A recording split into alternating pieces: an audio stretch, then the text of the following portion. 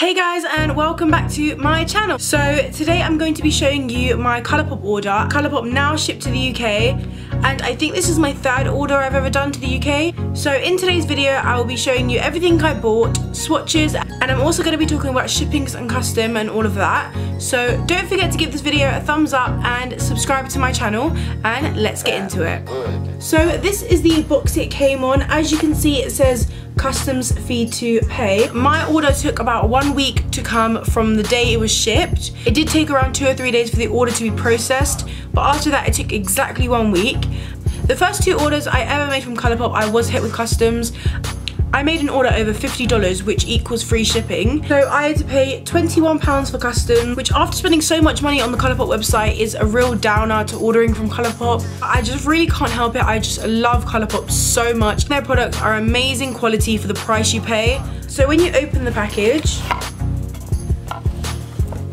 so when you open it, it looks like this. It just has Colourpop's logo and the packaging on the inside is so pretty. Like, it's just really spring vibes. So this is how my order came. It first came with, with a Colourpop thank you card and also within the box you get this Colourpop leaflet and it just kind of shows you all the different stuff they do.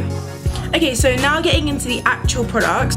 I did order quite a few products just to make sure it was worth it because I knew I was going to be paying a lot of customs. I bought four eyeshadows and they were actually doing a deal as when you buy four of their, their pressed eyeshadows you get a free eyeshadow palette that you can put them in. But I already took them out of their packaging and I put them in the palette it came in. I got two matte shades and two shimmer shades. This is a warm peachy brown colour in Wake Up Cool, a pink colour in Dreamboat, a shimmery kind of pink in High Strung, and a peachy shimmer in Pep. I've only swatched these eyeshadows so far, but they seem so creamy and so pigmented. So these are just two of the swatches of the shades. The last thing I got that's not lips, because everything else I've got is for the lips. This is the last thing I got, and it is and it is a brow pencil in black and brown. And I've never tried anything apart from their lipsticks before. So I was kind of excited to get this and see what it's like. It just has the colour pencil on one end and a spoolie on the other end. And I think I got the right colour. I mean,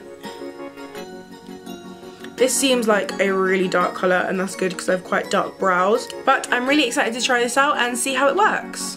Okay, so the first two things I got for lips is a Lippie Stix and a matching Lippie Pencil and I think these are part of a new collection. These are in the shade Boys Town. Lippie Stix look like this and they're sort of a sort of like a pencil kind of formula. And then I also got the matching lip liner. So so this is the Lippie Stick in Boys Town and this is the lip liner in Boys Town. Love the Lippie Stick formulas because they're so easy to just throw on every day. Okay, so these two Ultra Satin lips are part of collaborations that Colourpop do. So this one is part of the Amanda Steele collection. This one is part of the Hello Kitty collection. So from the Amanda Steele collection, I got the shade Jiffy. It's a really nice sort of pink colour. And my favourite formula from Colourpop is their Ultra Satins. I find their Ultra Matte ones really dry and they make my lips look really cracked and dry. Not really a big fan of them at all, but the Ultra Satin are my absolute favourite. They don't dry matte, they're really nice and comfortable to wear. They last so long and I just prefer them 100% more than the Ultra Matte. And from the Hello Kitty collection, I got the shade Tiny Chum. This one here, I say it reminds me more of Trap by Colourpop, which another from the Ultra Satin I got in the shade Magic Wand. Actually a repeat buy, I already own this one but I was kind of running low on it so I had to pick up another one because it is like my favourite colour ever. Wand is more of a orange kind of toned pink and the last things I got from Colourpop are part of the part of the Kathleen Lights and Colourpop collaboration. First liquid lipstick I got is the Ultra Satin Lip. It is in the shade 0.0. It's such a different colour for me and I don't know, I would probably be a bit scared to wear it out. Sort of a dark greyish brown and I just think this is such a nice colour so if you don't know who Kathleen Lights is, then you need to go watch her. I'll link her channel down below.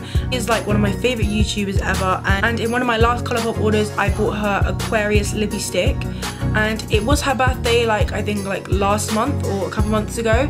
And she collaborated with Colourpop to bring out an, an ultra matte version, satin version and a glossy lip of her shade Aquarius.